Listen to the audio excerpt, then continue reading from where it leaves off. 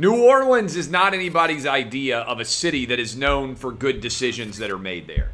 Bourbon Street is phenomenal. If you've ever been to Bourbon Street before, you've probably made some questionable decisions there. New Orleans is a city that is known for embracing joy, for embracing wildness, for embracing pure at times bedlam. One of the coolest experiences I've ever had as a sports fan was being out on Bourbon Street when LSU and Alabama were playing for the national championship in the Superdome and the SEC totally took over New Orleans. And I've never seen Bourbon Street that crowded, all with SEC football fans. I mean, it was an incredible experience.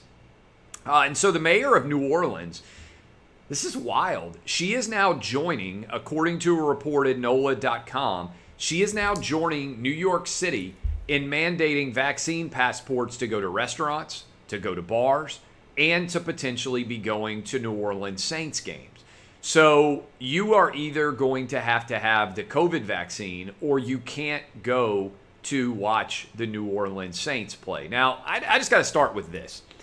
Anybody who's ever been to a football game knows that it is incredibly difficult in order to actually get into a football stadium. So, who is going to be checking COVID vaccine reports to get inside a football stadium? The people who scan tickets are basically overwhelmed half the time when it comes to actually scanning your ticket. Are you now going to have to somehow provide a proof of vaccination to that group of people? Can you imagine what the lines to get into a football stadium are going to be like?